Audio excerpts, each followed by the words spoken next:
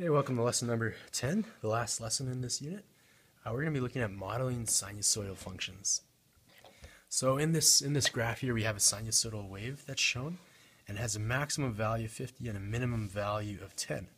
So max of 50, minimum of 10. We want to write the equation of the of the wave in the form of h of t is equal to a a sine b of t minus c plus d, where a has to be greater than 0. All right, so in figuring out our amplitude, we know that we have a maximum of 50 and we have a minimum point of 10. Divide that by 2, so 50 minus 10 is 40 divided by 2 would give us an amplitude of 20. So what we're going to do is we're going to make a list of all the variables so then we can later in, we can later plug them in and uh, make the equation of this line here. So we have our amplitude that's equal to 20. Our period Well, let's see where we have a repeated motion. I go down the graph, I go back up, and then I go back down and down. So here is my period, and that's equal to 32. So if we're looking for our b value, then b is equal to 2 pi over 32, or pi over 16 if we simplify. Now I want to find my horizontal frame shift. So if this is, we're told this is a sine function. So if this is a, a sine function, then we actually cross the y-axis at a midpoint as my sine wave is going up, is trending upwards here. So we know that this is the point, this is the, the lowest horizontal frame shift that we have which means that I've, I've moved this graph 16 because I've moved it in this direction. I've moved it 16 units to the right. So my C value is equal to 16. And last, we're looking for our vertical displacement, our D value. So our vertical displacement, remember that a sine function passes um, through point in between the amplitude. So in between here and here. This is where it crosses the y-axis, or sorry, the x-axis. And so if we were to find that halfway point, 50, the max plus the min, divided by 2, our halfway point would be at 30. So my vertical displacement is 30. Now all I need to do is plug all of these into the equation that we're given. And so the amplitude was 20. 20 sine bracket. My um, my period was pi over 16. My oh, and then I have t and my my horizontal frame shift, which was 16, and my vertical displacement, which is 30.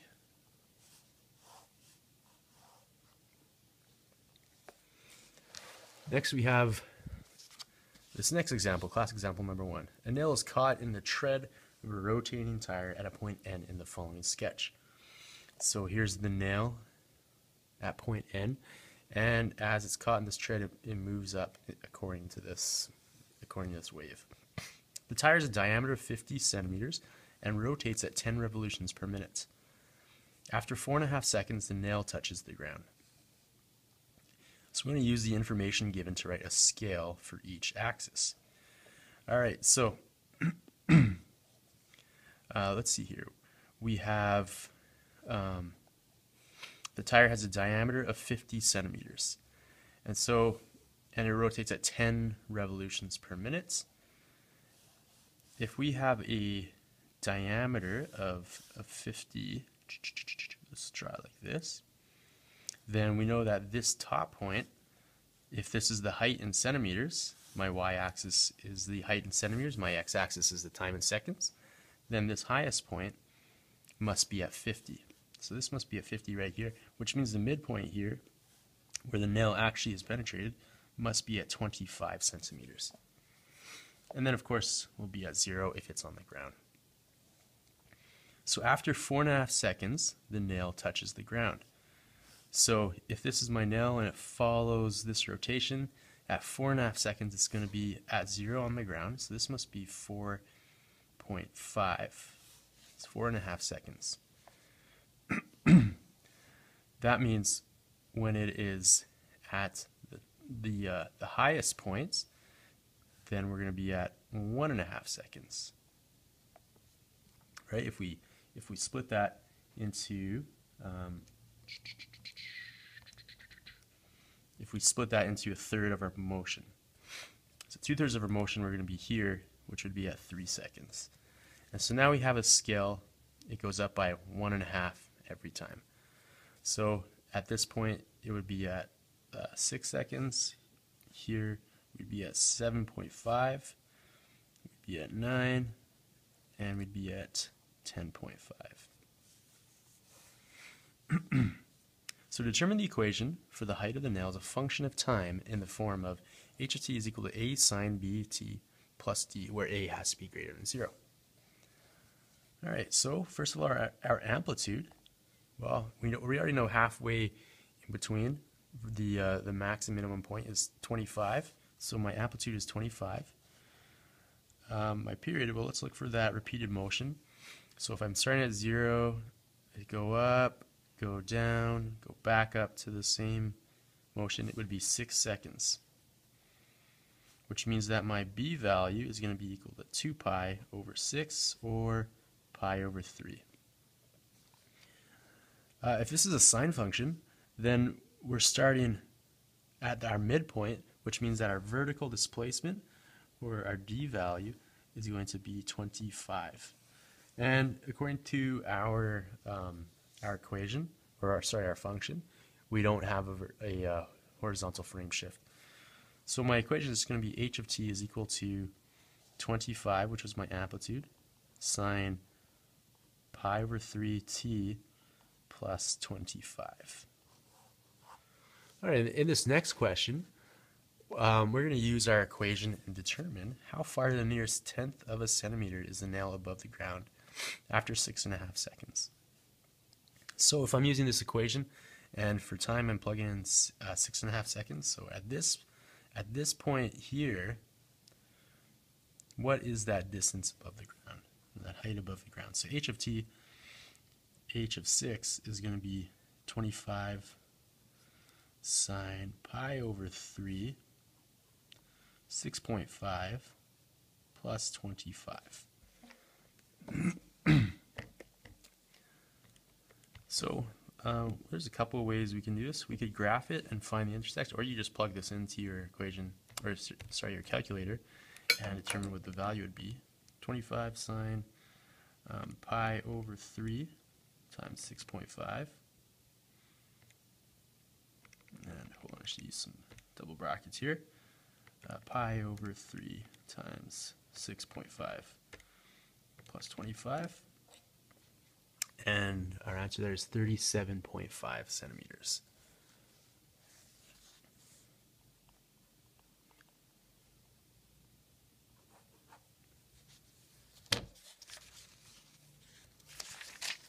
All right, our, our last example, class example number two. Uh, we have a Ferris wheel. The first one created by a bridge builder was named George Ferris. In 1893, the diameter of the wheel was approximately 76 centimeters, and the maximum height of the Ferris wheel was approximately 80 meters. The wheel had 36 wooden carts on the, on the wheel, with each cart able to hold approximately 60 people. The, Ferris, the, the wheel was introduced to the world at the World's Fair in Chicago. So if the wheel rotated every 9 minutes, use the data in this table to sketch a sinusoidal graph which represents the height of a cart in meters as a function of time in minutes. Uh, assume that the car is at its lowest point at zero and draw one complete cycle. All right, so at time zero, it tells us we're at four. So we want to take all this information and graph it here. So at, at time zero, um, I'm at about four meters, so one below, uh, mid in between 10 and um, 5.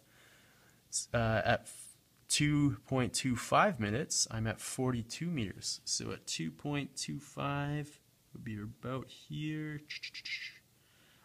And they didn't give us an actual grid to work on, so it's uh, this can be a pretty rough graph. At four and a half minutes, I'm all the way up at 80. Um, at 6.75 minutes, I'm back down to uh, 42. And then at 9 minutes, I'm back at 4. So my sine curve, or sorry, my sinusoidal curve is going to look something like this.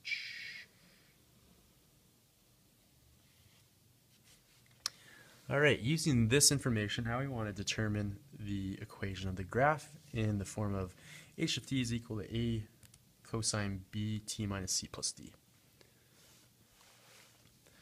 All right, so in order to do that, we need to look at, again, listing the amplitude, the period, to find our b value. Uh, we'll want to think about our horizontal frame shift and our vertical displacements. All right, so our amplitude, we know that we had a maximum point of 80 and a minimum point of 4 meters. So 80 minus 4 divided by 2. Um, 80 minus 4 is 76 divided by 2. We'd have 38 meters. So A is equal to 38. Our period, well, if we look at how this motion is repeated, we, we start here, go up, come back down, and then it would be repeated at this point, and that would be 9 minutes. So our period is 9 minutes, which is equal to 2 pi over 9.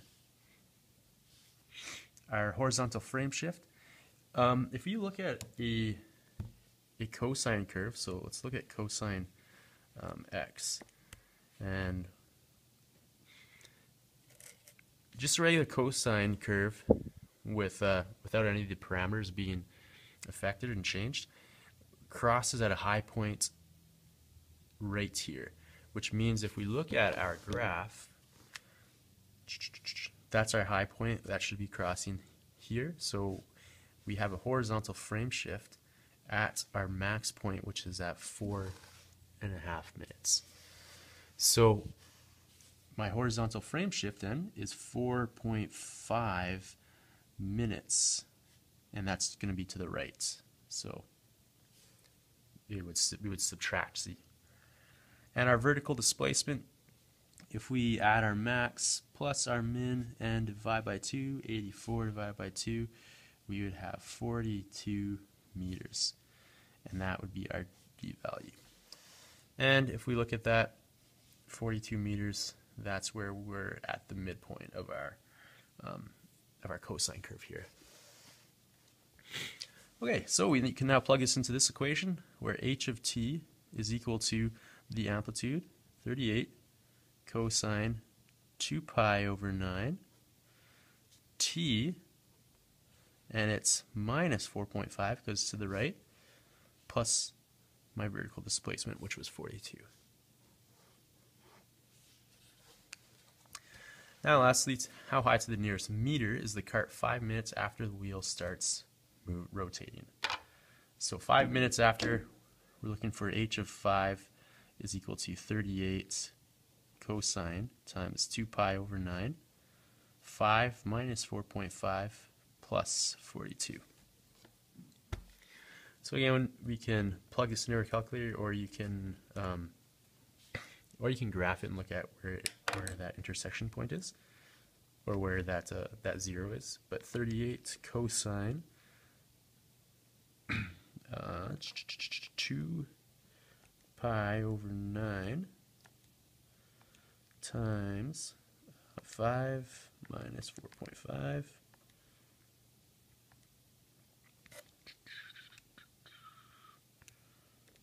plus 42. And uh, oh, hold on, I missed a bracket somewhere. Sorry. So 38 cosine, double bracket there. 2 pi over 9. Uh, 5 minus 4.5 or times 0.5 close the bracket plus 42 and there we go 77.7 meters or around to the nearest meter would be 78 meters And how many seconds after the wheel starts rotating does the cart first reach 10 meters from the ground?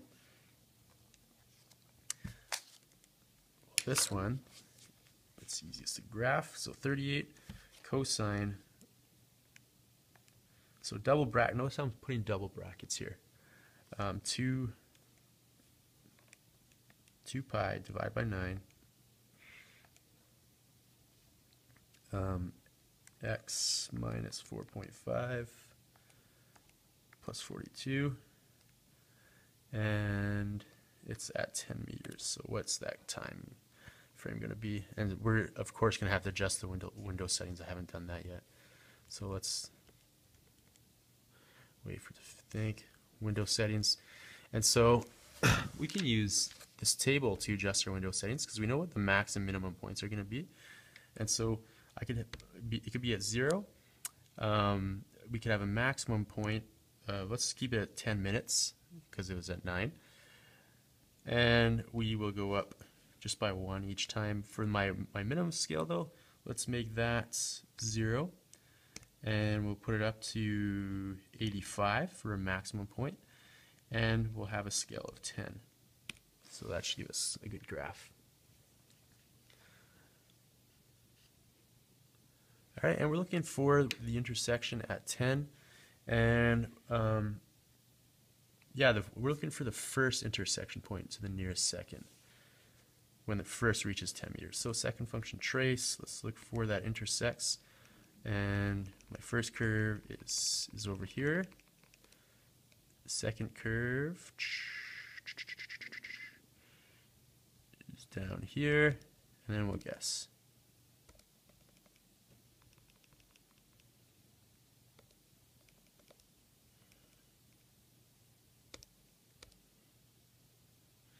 So our intersection point is at 0.8159.